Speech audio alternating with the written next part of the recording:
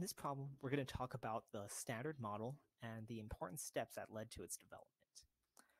So, the standard model is what we've been studying here with particle physics. It just encompasses the elementary particles and their interactions.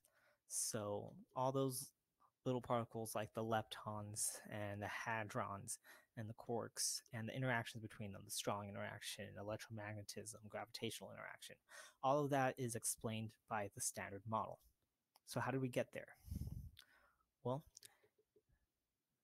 to look at that, we have to go back to special relativity, which was Einstein's theory, and quantum mechanics. So, at first, special relativity and quantum mechanics existed in their own worlds. Um, relativity described objects moving at high speeds and theories about light, and quantum mechanics described very tiny little things like the particles within, within the uh, atoms. And then what happened was physicists got together and realized that they could combine all the ideas from special relativity and quantum mechanics, and those became known as quantum electrodynamics.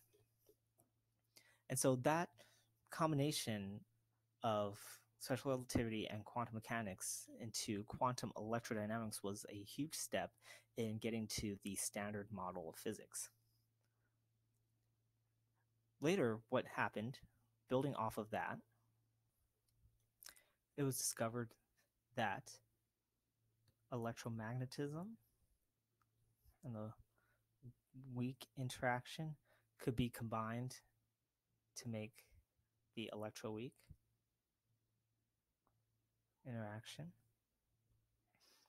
And sometime after that is when the strong interaction was being studied, and we got quantum chromodynamics, which involves the strong interaction and the idea of color charge um, between gluons.